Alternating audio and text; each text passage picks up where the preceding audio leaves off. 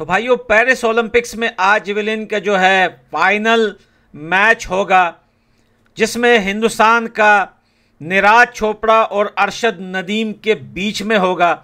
दोनों ने काफ़ी ज़्यादा अच्छा मैचेस खेलते हुए फाइनल में अपनी जगह बनाई और कौन जीतेगा गोल्ड मेडल दोस्तों, यहाँ पर अफ़गानिस्तान की तरफ़ से पूरा पूरा सपोर्ट है निराज चोपड़ा को और उम्मीद है कि निराज चोपड़ा जो है वो निराश नहीं करेंगे और वो ज़रूर जीतेंगे फाइनल।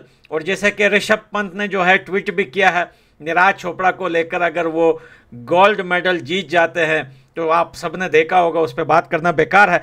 लेकिन भाई देखे यहाँ पर निराज चोपड़ा को सपोर्ट करने का मकसद ये नहीं है कि जो है वो अरशद नदीम से हम हेट करते हैं, ऐसी बात नहीं है। लेकिन भाई, दिल दिल से मिलते हैं कौन किसको सपोर्ट करता है, हम हिंदुस्तान को सपोर्ट करते हैं। कोई भी स्पोर्ट्स होगा, कोई भी मैदान होगा, जंग होगा, वार होगा, प्यार होगा, मोहब्बत होगा, क्रिकेट होगी, कबड्डी होगी, जो भी होगा भाई, हमारा सपोर्ट हिंदुस्तान के साथ रहेगा और हमेशा हिंदुस्तान के साथ है।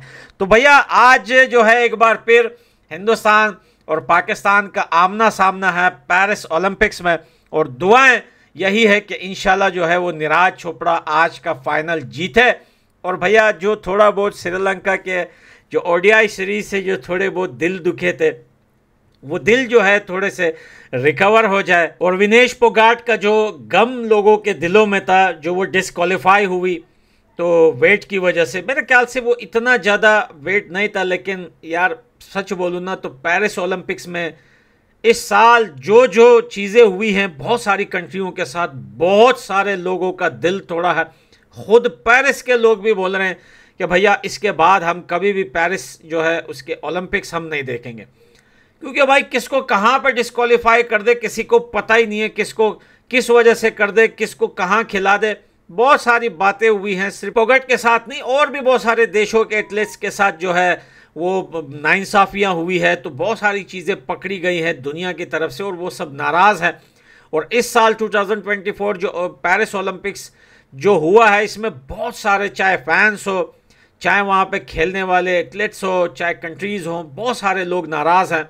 लेकिन एनी anyway, अब उम्मीद यही है कि यहाँ पर जो है निराज चोपड़ा ये जितनी जो है वो बोलते हैं ना कि दिल को जो जो जो चोट पहुँची है जो सेड हुए हैं लोग वो सारी चीज़ें जो है दूर करने का अब एक ही ज़रिया है निराज चोपड़ा जो आज पाकिस्तान के जो है अगेंस्ट वो आज अगर वो फाइनल जीत जाते हैं तो मेरे ख्याल से ये बहुत बड़ी जो है जीत होगी हिंदुस्तान के लिए और सब जो है उन फैंस के लिए, हिंदुस्तानियों के लिए और साथ में अफ़गानिस्तान के लोगों के लिए भी जो हिंदुस्तान को सपोर्ट करते हैं।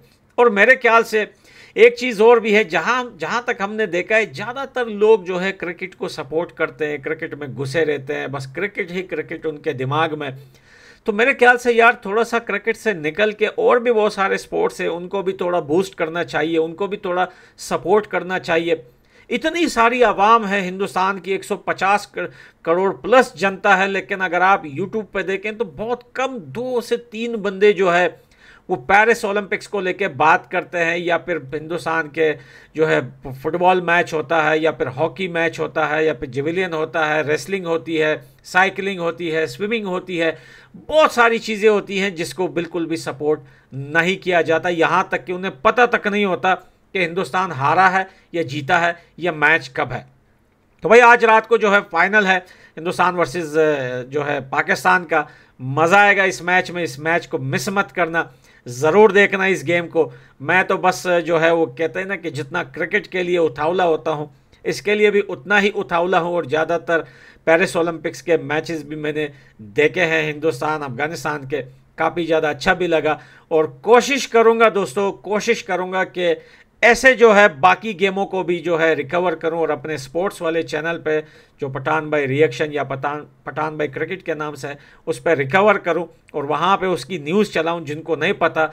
अगर लोगों को इंटरेस्ट नहीं है तो एक हाथ वीडियो देखने से भी जो है, थोड़ा बहुत लोगों का जो है इंटरेस्ट बन जाता है। क्योंकि जहाँ तक मैंने पेरिस ओलंपिक्स में, मैंने इस साल थोड़ी बहुत वीडियो बनाई है हिंदुस्तान के एथलेट्स को लेकर तो उस वीडियोस पे ना लाइक आ रहे हैं, ना व्यू आ रहे हैं। तो इससे पता चलता है कि हिंदुस्तान के जो लोग हैं, जो जो इंडियंस है, वो सिर्फ़ जो है वो क्रिकेट में घुसें और उनको जो है बस क्रिकेट की बातें सुनाओ या फिर पॉलिटिक्स की। उससे हटकर उसे ये नहीं समझ में आ रहा कि भैया हमारे देश में और भी बहुत सारे स्पोर्ट्स हैं जो लोग सालों साल तक मेहनत करते हैं।